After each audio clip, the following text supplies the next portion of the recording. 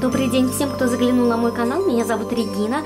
И сегодня у меня небольшое видео. Я хочу показать вам, как себя чувствует мой Phalaenopsis Magic Art. Я его покупала в Икее. У меня есть видео о том, как я его пере, пересаживаю. Сейчас ссылка на это видео всплывет в подсказках. И там вы можете увидеть, как я вырезаю у него э, гниль. Очень-очень неприятную, черную, прям мокрую гниль на самой шейке. После этого и, и, и пересаживаю, естественно. Я это все делала кажется, в сентябре, да, в сентябре, э, буквально недавно. И после этого он э, от такого шока, потому что пришлось срезать очень значительную часть э, шейки, я даже думала, что он в скором времени и тургор потеряет, и вообще погибнет от такой операции. Но он только скинул все цветы, остался только вот этот цветочек.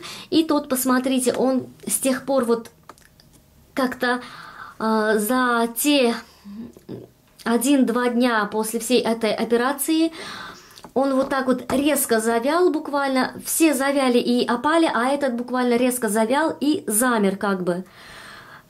Потому что вот, вот эти лепестки дальние, сейчас я поверну цветочек, они завяли, э, серединочка у них пока держится, и вот эти цветки, э, вот эти вот лепестки, они прям как-то замерли.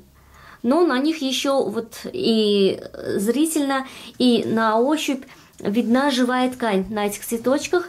И вот он этот свой один цветочек так и держит. И не туда, и не сюда.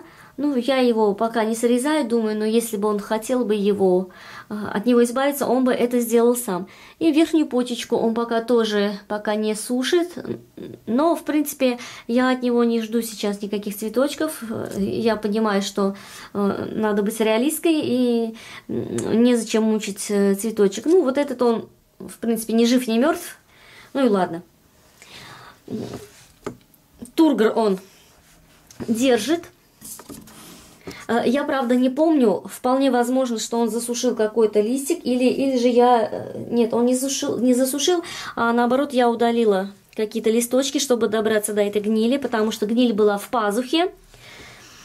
Вот я все замазала Максимом. У него было очень много корней хороших, очень много. И сейчас все эти корни, они все в горшке пропали. Остался буквально один корешочек, и я вам покажу. Вот этот корешочек, вот верхний, я его тогда еще вот э, опустила в горшочек, хоть он и с заломом. Ну, этот корешочек, он высох. Корешочки, которые в горшочке, они тоже усохли все. Но зато после этого, через какое-то время, он стал пускать вот э, корешочки. Три корешочка он выпустил, и и этим меня очень радует. Надеюсь, вот он будет жить. Вот здесь вот эти три корешочка видны. И сейчас я покажу, что творится в горшочке. Сейчас попробую камеру зафиксировать.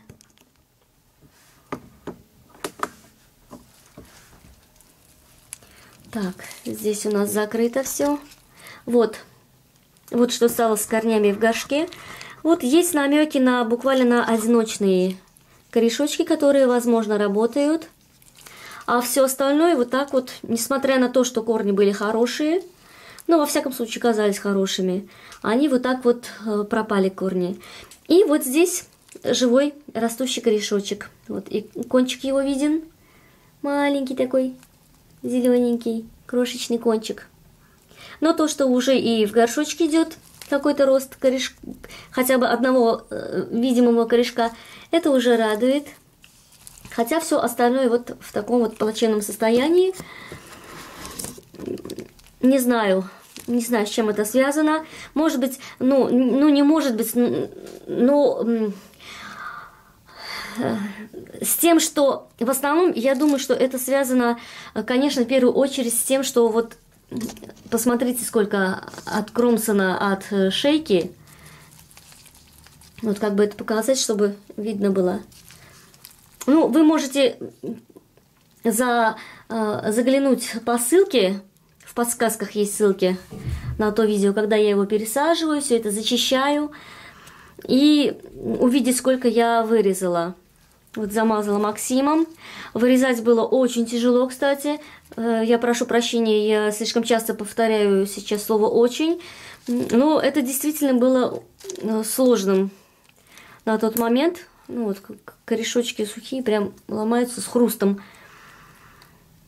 И, видимо, поэтому, поэтому корни перестали в горшочке работать. Потому что я не думаю, что это из-за гнили, которая была. Все-таки была, все-таки я успела ее вырезать.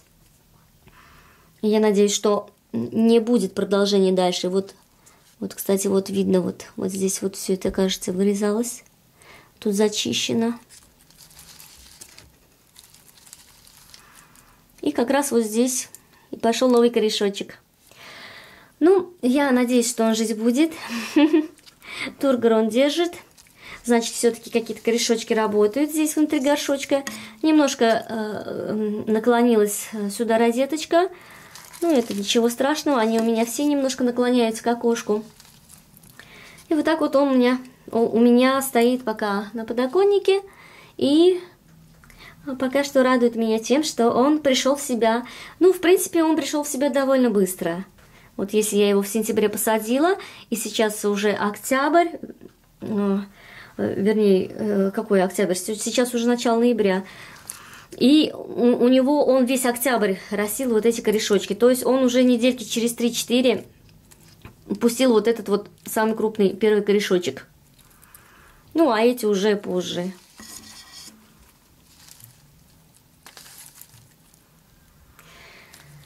И э, Максимом я его намазал только один раз. Кстати, мне, мне понравилось работать с этим препаратом, с Максимом. И на своих этих бесплатных фаленопсисах я его опробовала вот тогда пер, в первый раз. И вот сейчас вот, да, он сушит, конечно, он сушит. И корешочки он сушит, и все это, всю поверхность он сушит. Э, хотя на первый взгляд это не всегда видно, потому что когда, я, когда сначала мажешь Максимом, оно не сразу заметно, что оно сушится. Кажется, что все нормально. Я даже в одном из видео говорю, что Максим не подсушил, а потом это все, видимо, и Максим, и время. Ну, я считаю, наоборот, это и хорошо. Вот подсыхает вся эта гниль. Все, все эти э, грибки, все эти э, патогенные, патогенная вся эта микрофлора, она все это подсыхая, и, естественно, она тоже как бы уничтожается. И пускай, пускай. Главное, что растение сильное и хочет жить. Ну, спасибо вам всем большое за внимание. Вашим, вашим орхидейкам тоже сил, крепкого здоровья. И вам тоже. И до новых встреч. Всем пока.